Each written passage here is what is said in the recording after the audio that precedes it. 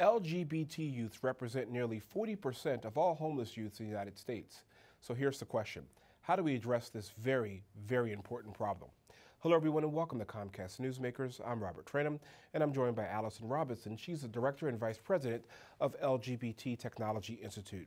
Allyson, welcome to the program. Thank you, Robert. It's great to be here. 40% is a very high number. That's nearly half of LGBT youth are homeless. Why is that the case? Well, it's especially high when you consider that somewhere between 3 and 5 percent of people identify as LGBT. So LGBT youth are, are significantly overrepresented in the homeless population. It's largely uh, to do with the fact that our uh, much of our culture is still catching up to uh, this level of inclusion that we aspire to. So, uh, hypothetically, could it be that a young person comes out to their family members and their family members, for whatever reason, cannot accept that and kicks them out?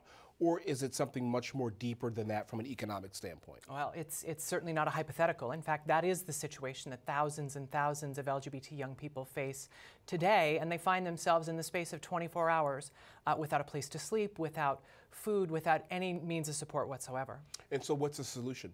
How do we how do we combat this? We know what the problem is. How do we fix it? Well, there are a lot of different solutions that need to go into uh, to solving this problem wholly. Uh, what we're looking at is how uh, something as simple as a cell phone can change the experience of a young person on the street, can make their outcomes better and better and better.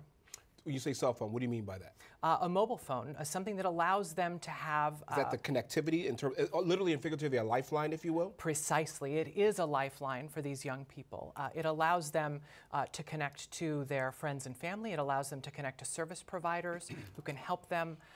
and it allows them to connect with potential employers who can help them develop the resources they need to get off the street. So let's say hypothetically the, the young person does not have a cell phone are you able to, to provide them with one? Or ultimately is the goal to perhaps maybe find some type of housing for them? And, and that type of housing, is that temporary or is that hopefully permanent?